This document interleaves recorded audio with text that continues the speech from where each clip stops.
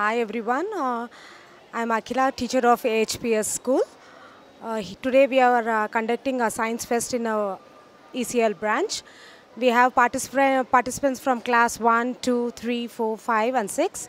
Children from uh, class 1 is participating, displaying uh, medicinal plants and their uh, health benefits and class 2 and class 3 are they are making models on environmental uh, air pollution water pollution.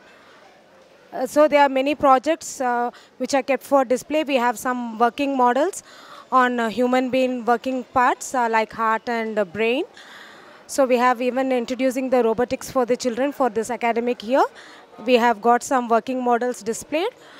So it's going on very well. Thank you. This is very good opportunity for students to learn about new things and they are seeing visually what they have learned in the books. Thank you.